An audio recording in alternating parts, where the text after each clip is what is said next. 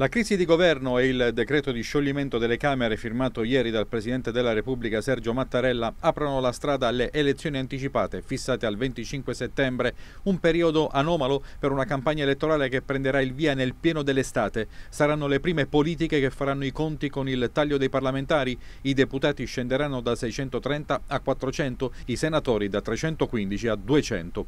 Una diminuzione che tocca ovviamente anche la circoscrizione Abruzzo. La nostra regione nelle politiche del 2018 ha espresso 21 parlamentari, 14 deputati e 7 senatori, ora l'Abruzzo ne eleggerà 13, 9 deputati e 4 senatori.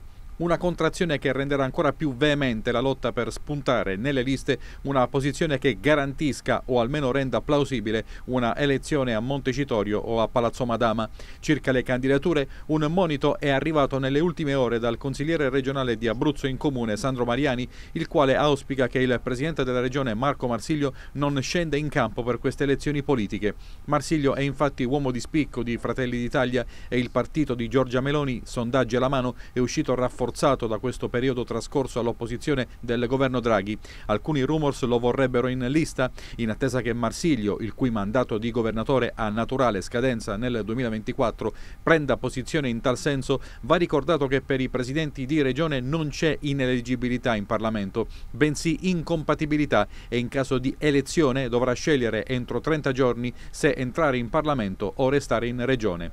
Nel 2019 da senatore Marsilio si dimise dopo l'elezione a presidente di regione. Ricordiamo anche che la precedente consigliatura in Abruzzo fu interrotta quando, al culmine di una vicenda che si dilungò fino alla pronuncia della giunta delle elezioni e delle immunità parlamentari, Luciano D'Alfonso scelse il Senato e rassegnò le dimissioni da presidente della regione nell'agosto del 2018, determinando il successivo scioglimento del Consiglio regionale.